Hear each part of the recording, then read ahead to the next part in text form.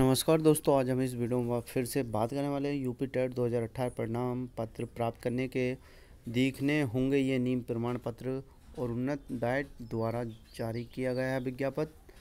तो देख सकते हैं यहाँ पर यूपी टेट 2018 प्रमाण पत्र प्राप्त करने को देखने होंगे ये नीम प्रमाण पत्र। तो देख सकते हैं यहाँ पर पूरा डिटेल यहाँ पर दी गई है। सूचना हमें शिक्षा पात्रता परीक्षा U P T E T दो हज़ार अठारह के प्रमाण पत्र, माह जून दो हज़ार उन्नीस के द्वितीय सप्ताह में समय ग्यारह बजे से तीन बजे तक भी अभिषेक कुमार के सी डाइट उन्नव द्वारा वितरित किए जाएँगे।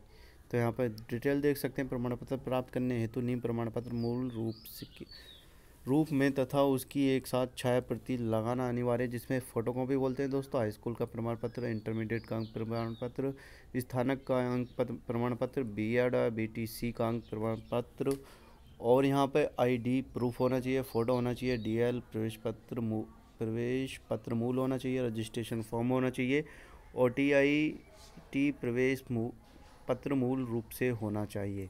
तो ये सब यहाँ पर बताया गया और नोट में भी आप देख सकते हैं, यहाँ पर एक नंबर दिया गया इससे संपर्क आप कर सकते हैं और पूछ भी सकते हैं। दोस्तों, अगर यह जानकारी आपको पसंद आई है तो वीडियो को लाइक, शेयर ज़रूर करना।